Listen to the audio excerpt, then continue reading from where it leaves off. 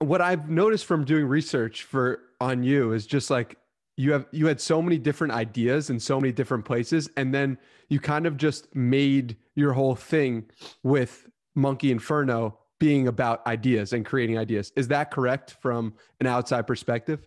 Uh yeah it sounds like it when you look at it that way. At the time that's not how it felt. Um you know i was just kind of like stumbling from one thing to the next i did did the sushi concept okay cool then did this biotech thing in australia then I wanted to move to Silicon Valley because I was like, well, I like startups. So let me go where all the startups are. What I did do was I came up with a very specific vision for what I wanted next. That's probably the most valuable thing I did um, because I I was in Australia and I thought, okay, I'm now pretty confident in myself. Like I didn't know shit about sushi, and we were able to like pull off a sushi restaurant that was getting a bunch of like kind of accolades and was profitable for you know for for a while. We just didn't want to continue the business.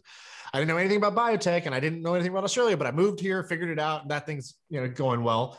So I thought, well, pretty confident myself, but uh, but I, I, you know what is this next chapter about? I'm only 23 years old. I still got plenty of time, so let me let me do two things. So I said first I don't like when I'm I don't like that I'm right now. I feel like in the room I'm the smartest guy in the room. Meaning, if I'm the CEO, people are looking for me to the for the answers, and that's good because that forces you to get smart because you got to come up with answers. But I thought, what if I'm like just a white belt who doesn't realize it? What is it?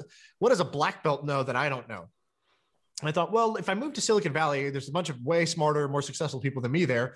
Why don't I team up with one of them first and learn from them? Uh, just for a bit. Let me shadow them and I will kick ass for them. Here's the trade I'll kick ass for you and you expose me to your way of thinking and doing things. And I want to see what's the difference between my way of thinking and doing things and yours. And so that was my first thing was I'm going to work with somebody who's done it before. I'm going to be the right hand man for somebody who's done it before. The second thing was I said, I'd like to, I don't know what I like. I don't know what topic I like. I don't know what industry I like, but I know I like startups. And I, um, I know that I want to somehow cram 20 years of experience into four years of my life. Like I'm down for something intense. I'm down to like really bust my ass. Uh, but what I want is like, I want to come out of this a black belt. And if that normally takes 20 years, how do I do it in four? And, um, and so I thought, well, the way to do, I think the way you get good at anything is by getting a lot of reps, being very hands-on, being immersed, and um, having you know a variety of different challenges, not just like the same challenge that you specialize in. So I thought to myself, it'd be great if somehow I could be like involved in multiple startups at once. And I didn't know how that would work or what that would mean, but that's that was my mindset. And so the very first night I had that clarity, I wrote that down. So I'm going to work with somebody who's kicked ass before. I'm going to be the right hand man. Secondly, I'm going to somehow have a portfolio of bets that I'm getting reps with, not just one. And I went on AngelList, which is a website for like finding jobs in the tech industry, and I um, the very like kind of the third or fourth listing was this thing called Monkey Inferno, and basically it was a guy who kicked ass in the internet world. Had sold his last company for eight hundred fifty million dollars, and he ran an idea lab, which was working on three or four ideas at once. And um, they they owned them, they built them themselves, and they were executing them. I thought, whoa, shit, this is like exactly what I wanted. So I went all in, and I was like, basically wrote the guy a long letter, an email, but it felt more like a letter. And I made a website that was like my me why I'm perfect for Monkey Inferno. And I just went all in instead of like just like kind of submitting a resume and hoping for the best. And that's how I ended up getting a job there. Monkey Inferno, like you mentioned, is an idea lab. So it's a place to have a bunch of ideas starting from zero and building them and seeing it's experimentation. Do quick, rapid experimentation to see is this idea going to work? Okay, no, kill it. Move on to the next one. Is this idea going to work? Yes. Okay, double down, do more. And so that's what that that business was. What do you say in that letter?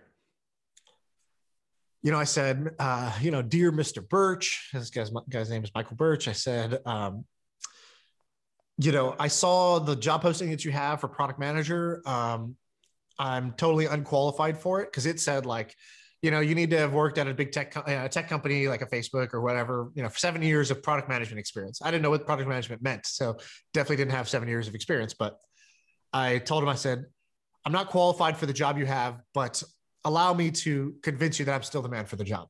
That was like kind of my opening line. And I said, um, you know, I, what I bring to the table is a lot of raw hustle. And, you know, I'm just the type of guy you, you, you give me an idea and I make it happen one way or another. I find a way.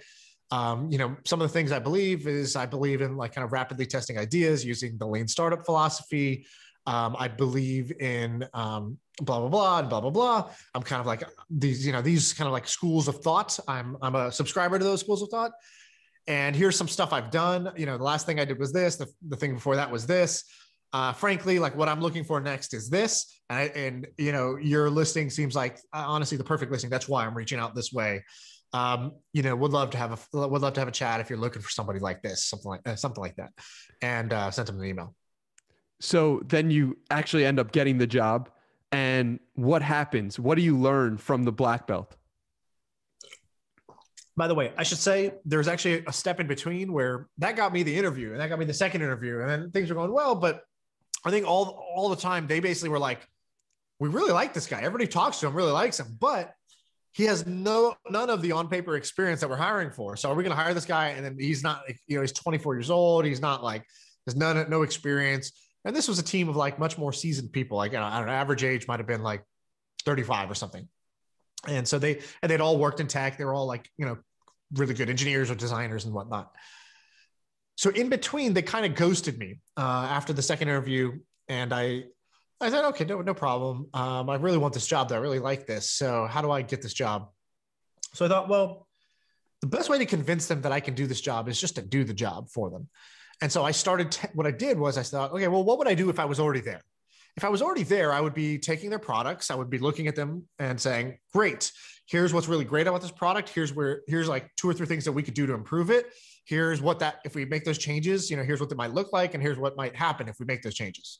Um, and then, you know, in theory, I would hand that to, I would present that to kind of the team and say, great, are we all bought into this? And let's go make those changes and see what happens. Uh, the other thing was, I was like, I would be talking to customers and getting feedback and um, using that feedback, relaying that feedback, and using that feedback to guide the direction to comp- of the products. So I just took two of their products I saw on their portfolio and I just did that. I started calling up some of their customers as if I worked at the company and was getting feedback and I documented it all. And then I made a slide deck that was like, hey, based on my my opinion and like some customer feedback, here's two or three things that I would improve at this thing that you that you have built. And I basically told them like, guys, I do this stuff for fun anyways. I'm just a nerd about products. So, you know, if you don't, eh, eh, you know, hope this doesn't come across as me, you know, criticizing from the outside, trying to be, you know, helpful in some way. Here's some, some, some food for thought. And um, this is the type of thing I'm into. And hopefully this gives you an idea of how my brain works. And so that got them hooked back in of like, then I started getting more, you know, then I got like to the finish line basically uh, through that. So I think that was a, a very useful tactic that uh, I'm surprised more people don't do.